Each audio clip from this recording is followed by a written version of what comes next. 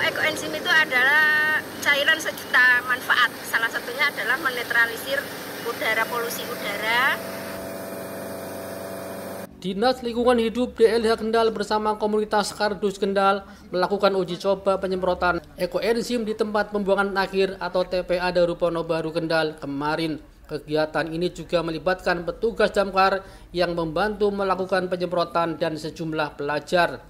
Anggota komunitas Kardus Kendal Kartika Sari mengatakan penyemprotan ekoenzim kali ini masih uji coba untuk menghilangkan bau busuk sampah di area TPA. Digunakannya ekoenzim karena salah satu fungsinya adalah menetralisir polusi udara untuk menghilangkan bau yang tidak sedap. Cairan ekoenzim yang disemprotkan akan menimbulkan bakteri yang salah satu jenis bakterinya bisa menguraikan sampah organik. Sampah yang sudah terurai oleh bakteri terserap dengan tanah sehingga bisa normal kembali. Kalau setelah disemprotkan, ini kan enzim akan jatuh turun ke tanah. Nah, terus kemudian bakteri yang ditimbulkan dari enzim itu muncul. Nah, salah satu bakterinya itu adalah bisa menguraikan sampah-sampah terutama sampah-sampah organik itu bisa langsung menyerap lagi ke dalam tanah, membaur lagi. Kepala DLH Kendal Aris Irwanto mengatakan tujuan penyemprotan ekoenzim di TPA untuk menghilangkan bau tidak sedap yang bersumber dari sampah TPA. Jika uji coba ini berhasil, maka akan dilakukan penyemprotan lagi jika bau tidak sedap mulai timbul lagi.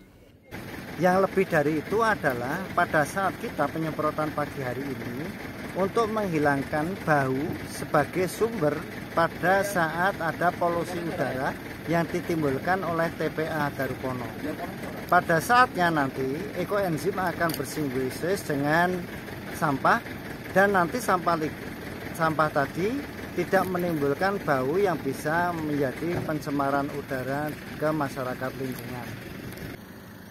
Terkait dengan penyiraman ekoenzim ini merupakan uji coba nanti pada saatnya kita akan melihat sejauh mana atau berapa bulan pencemaran udara itu akan timbul ataupun mulai lagi itu nanti akan kita semprotkan lagi ekoenzim. Karena komunitas kedus selalu siap mem memproduksi berapapun yang kita butuhkan pada saat ada penyemprotan. Idealnya adalah tiga bulan sampai dengan empat bulan. Itu nanti kita lakukan penyemprotan. Kegiatan ini juga melibatkan berbagai pihak, mulai dari kecamatan dan beberapa sekolah. Tujuannya untuk bersama-sama peduli terhadap lingkungan, terutama dalam mengatasi permasalahan sampah. Harapannya masyarakat mau memilah sampah di rumah sehingga meminimalisir sampah yang terbuang.